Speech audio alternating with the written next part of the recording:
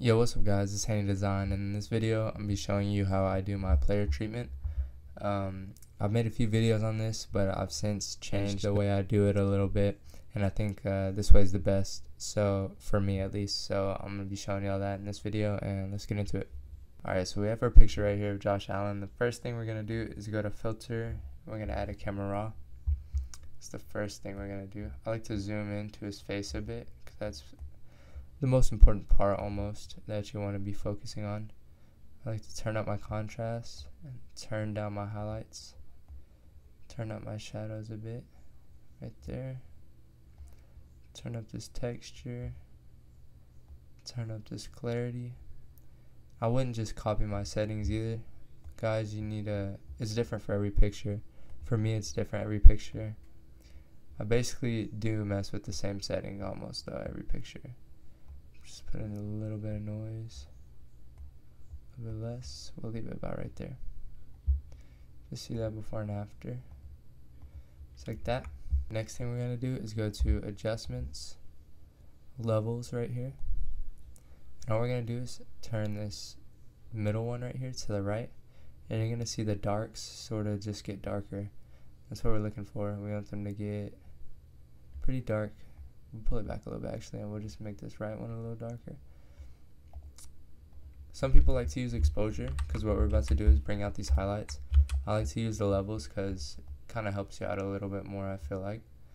We're going to take our, sorry guys I'm kind of not. We're going to take our brush right here and make sure our hardness has 0. Our flow we're going to put down to 8. Alright, 8 or 9, somewhere around there. And we're going to be on our white brush what we're going to do is zoom in to all these little shadows right here. We're just going to pan in just like this guy.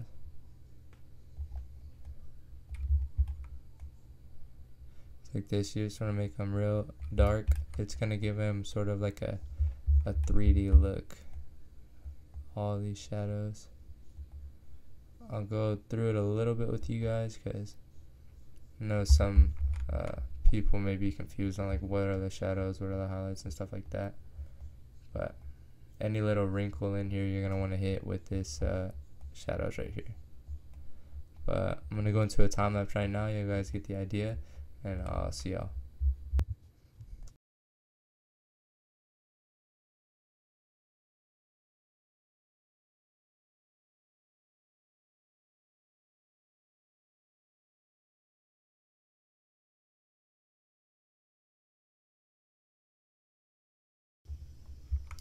Alright guys, you can see that before and after right there of the, when we added the shadows. Looks like we actually missed a few in here, so we'll go ahead and hit those real quick again.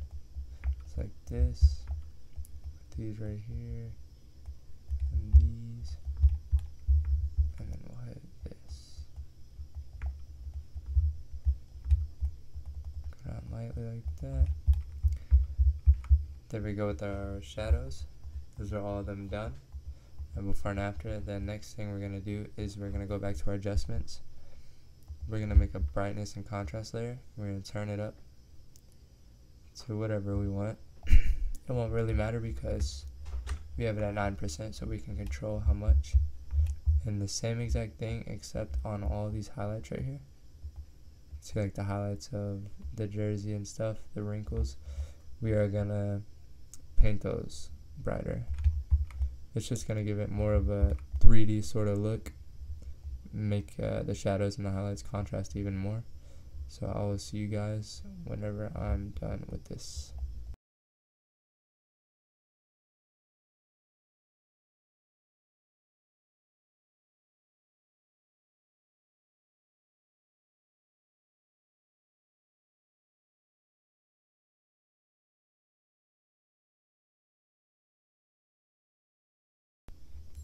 Here we go guys, this is after our brightness and contrast, you can see what that does.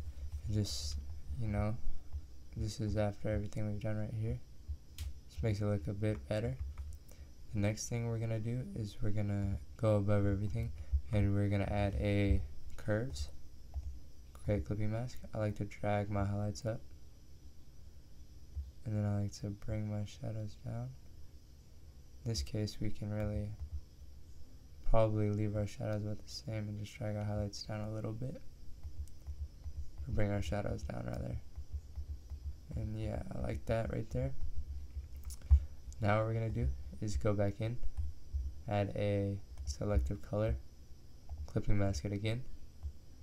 We can turn the, or er, hold on, you can see how we're on the reds right here. We're going to turn these blacks up. What we're going to do here is just sort of make this color richer, you can see. And I like to usually add some magenta or some cyan in there. See if we go like this, you can pick whatever color. Keep it about right there. Turn it this way, it's to make it more red or more blue. Actually make it more red. Yeah, I like that. Yellows, this we're to mix with next. In terms of richness of our yellows. I don't usually do this, but I'm to do it this time. Just kind of like the way that looks. We're going to turn it up all the way to 64. We're going to turn down our yellows a bit. This is dealing with greens or reds. We're going to keep it about 25. Cyans. We're going to turn our cyans up to about 9. So there we go, before and after of our selective color. The next thing we can do is add a, there's a bunch of steps to this, but this is just what I like to do personally to make it look the best I can. Adjustments, hue and saturation, saturation all the way down. Create clipping mask again, control I. Then you're gonna right click and turn your hardness all the way up. Come up here and turn your flow all the way up. On your white brush still, and all these whites, we're just gonna paint them white. Right, and we're not gonna hit any of the blue or any of the red just the whites right here going to desaturate them. So all that the green color you can see we're just going to make that go away. It looks a lot better when you do that in my opinion. So I'll see you right after I'm done with this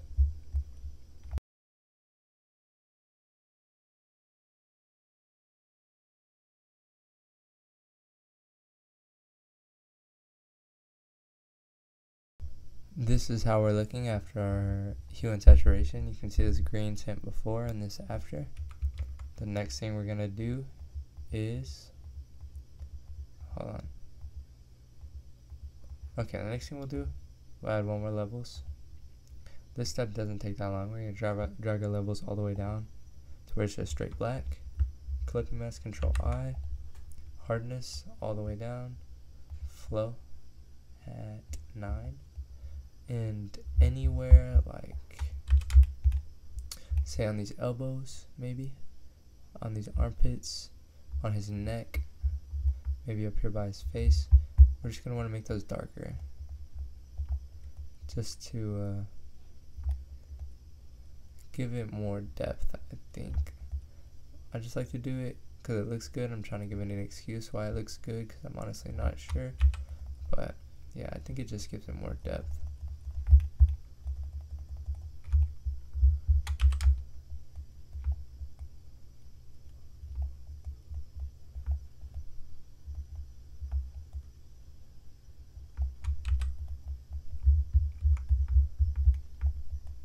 just a little bit. Let's go under here.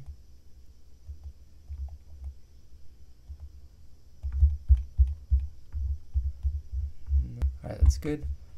One last step, or really two, but they're really quick steps. So all we're going to do is we're to go in here with our hue and saturation. You can see we just turned down our saturation. Uh, we clipping mask it, we press Control I. We're to turn our flow up to 100 come out here on these white parts of the eye, only the white part, don't hit the pupils because we want those to have some color. And we will paint in our pupils just like this. Boom, right there.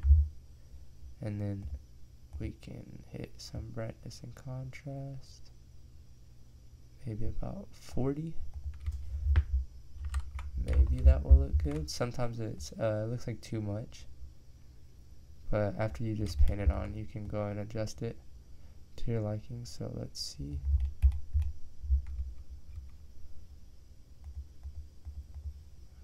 See if we turn it all the way up. Too much. Bring it down to about right there, 23. Alright, and that's going to be it guys for the camera filter or for our player treatment you can see that before and after right there. Pretty huge difference. Actually it's an even bigger. That's our before and after right there. So I hope you guys enjoyed this video. I hope uh, it helped y'all out. Uh, if y'all want in the next video maybe I can add some a light source and some highlights and shadows. Let me know if y'all want that or if y'all want something else. I appreciate y'all and I'll see y'all. Peace